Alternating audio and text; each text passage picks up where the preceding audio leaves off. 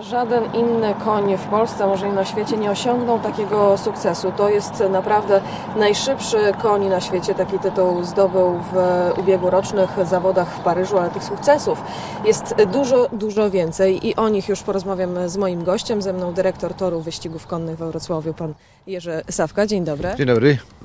No to ja powtórzę w takim razie pytanie ze studia. Na czym polega fenomen fazy? Fenomen fazy polega na tym, że w, historii, w całej historii polskich wyścigów konnych, w całej historii, od kiedy Polacy zaczęli ścigać się konno, czyli jeszcze w, zaborach, nie było konia, który osiągnął taki sukces e, sportowy. Były konie wybitne, był Tumen, który trzy razy wygrał Wielką e, Pardubicką, to też e, wielkie osiągnięcie. Był Ruler, ale to jeszcze w czasach zaboru Ruler Krasińskich, ale takiego konia jak Faza nie.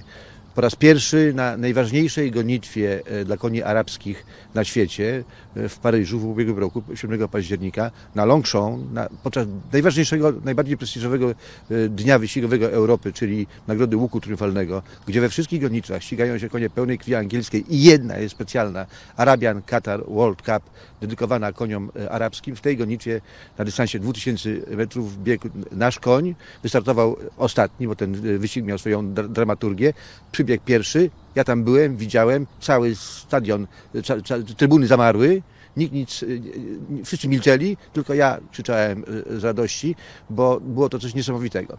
I miałem tę przyjemność wysłuchać Mazurka Dąbrowskiego, pod, obserwując zdziwione miny Francuzów i międzynarodowej publiczności, która też była szokowana tym wyczynem. Ten koń zrobił niesamowitą promocję Polsce, niesamowitą, takiej nie było, no też torowi i też trenerowi, czyli Michałowi Borkowskiemu, który go wychował, to nie przypadek, znaczy wytrenował, to nie przypadek, bo ten koń przyjechał z Francji z opinią konia, który nie nadaje się do wyścigów, był przez chwilę na warszawskim Służewcu, trener go oddał właścicielowi, od właściciela trafił do nas za sprawą kłopotów, które mieliśmy, bo Janów Podlaski w 2016 roku zrezygnował z usług naszych trenerów, musieliśmy znaleźć innych właścicieli, tak trafił do nas faza trochę jako koń wy, wybrakowany. I Michał Borkowski ten diament oszlifował, a, a Michał jest synem Stanisława Borkowskiego, który tu trenował konie na torze wrocławskim przez lata wcześniej, w związku z tym trafił w dobre ręce.